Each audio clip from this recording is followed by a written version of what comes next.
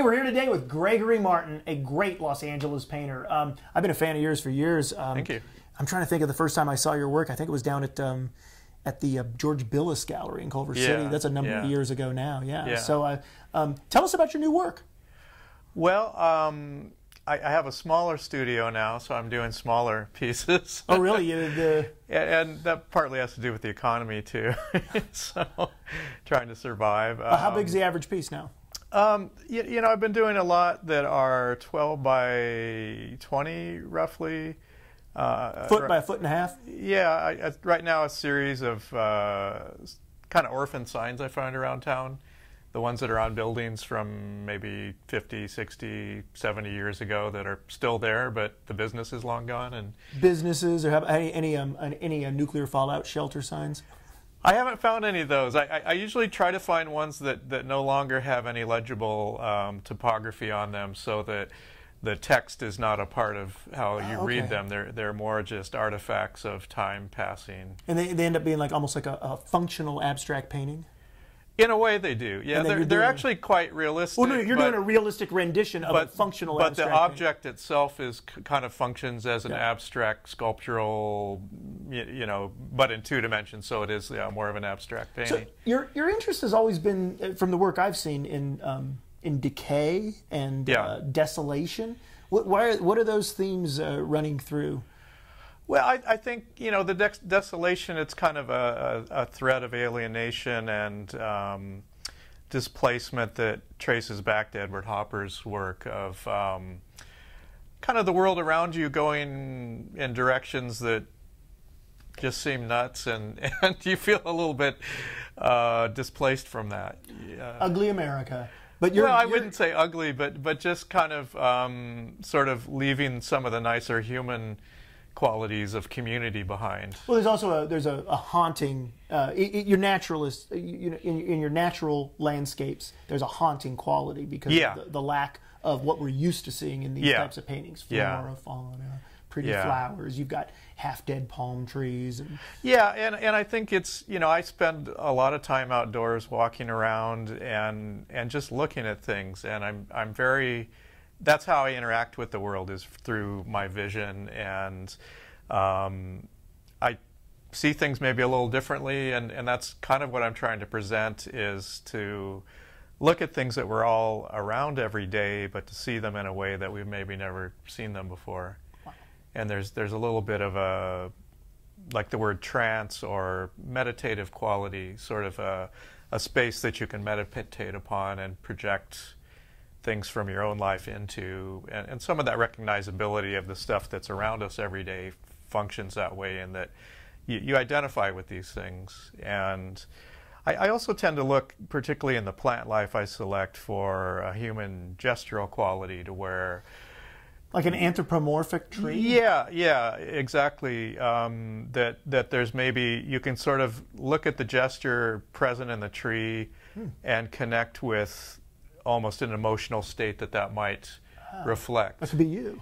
yeah, that tree could be yeah, you. or Okay. or you know your your uncle that beat you when you were young, or or your, your brother that How always you know? that always made you laugh, you know, and um, just I, I kind of look for that in the selection process, and then they get put together, kind of like a cheesy melodrama, you know, of, of bad actors overplaying their roles. So, th- so there is a, a bit of pathos in your work. Oh, yeah. Okay. Yeah. Okay. Great. Great. yeah. Wow. There, Um, there is this narrative. I, I, I worked as an illustrator for a number of years, which is a very narrative way of looking at artwork, um, telling a story, or do you think with um, and I, I'm assuming they're oil painting. Is it yeah, acrylic yeah, or these, oil? these are oils, yeah. And, and, and I'm, I'm assuming that, that you, you want more than just the narrative, though. You want that poetic. Uh, Oh yeah, relationship. yeah, I do, and you know some of the color harmonies and some of the the sort of large, colorful spaces. I mean, they're very muted colors, but when you look at them over time, a lot of color comes out of those spaces. There's there's layers of paint, um, Cool. but um, a, a lot of that also relates to color field painting and abstraction and and um, people like Barnett Newman and how he kind of arranged things within his abstraction. Not the first thing I would think when I look at your work. yeah, but but nonetheless, that's an influence, and and I, I, think a lot of that work has a meditative quality. Where oh, I understand. You you, you, you, you still want to get into that same conceptual, like the same the same physical brain space. Yeah, yeah, it's it's almost like a mental state where where things are kind of quieting down a little bit, and you're reflective as opposed to agitated. Cool, cool. Hey, we'll be back right after this with more with Gregory Martin.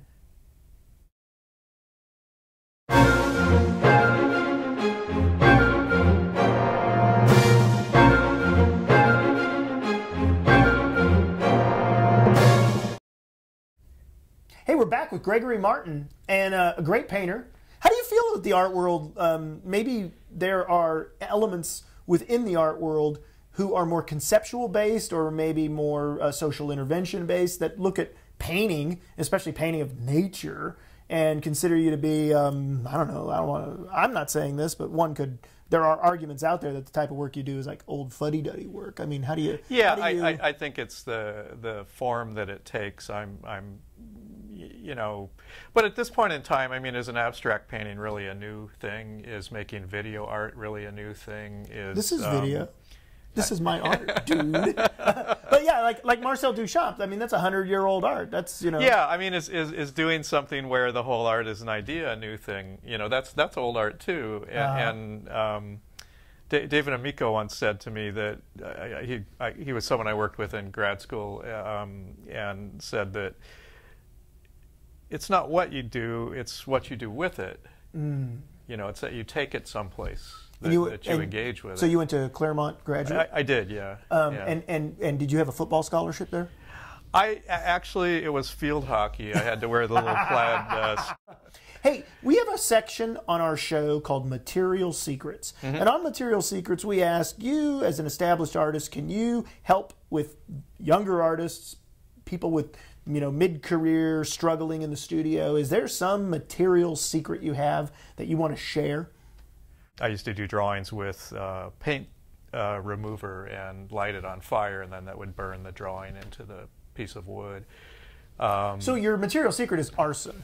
Yeah, yeah, basically. it's fun to burn stuff, yeah. Wow. Hey, Gregory Martin, thanks for being here. Okay, thank you very much, Mat.